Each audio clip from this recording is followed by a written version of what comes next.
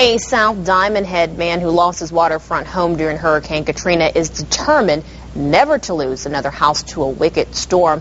He's among the first to build a all-concrete house in the area. Tonight, Hancock County reporter Al Showers shows us the unique structure and tells us why the builder says his concrete is the wave of the future.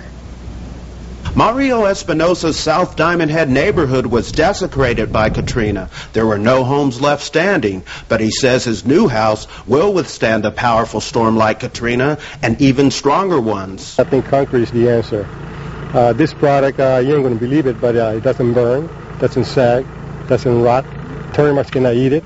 It's resistant to Category 5 hurricane, tornadoes, earthquakes. The contractor says it's the first of its kind in the entire state, all concrete from the bottom to the top. Even the roof of the house will be constructed out of the concrete covered panels. There are some other products out there that have concrete block walls, foam concrete, but they all have wood trusses, things like that. This house is totally concrete. Uh, the roof floors, everything is made with the panels. The panels are made of foam and metal wire at ICT, a company located in the Long Beach Industrial Park. They are assembled and covered with concrete on site.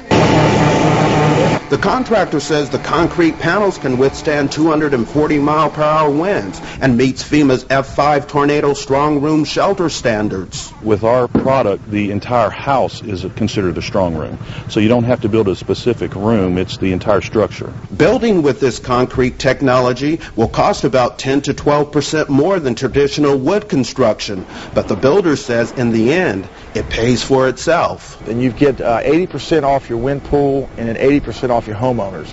And that in itself has been a big, big problem with people building back on the coast. Rogers says the energy efficient product will also save the homeowner money. And he says those are just some of the benefits of using the concrete method. When you have a storm, you know, usually you have to tear out sheetrock, you got to pull out insulation. Man, you go in there and pressure wash it, you move back in.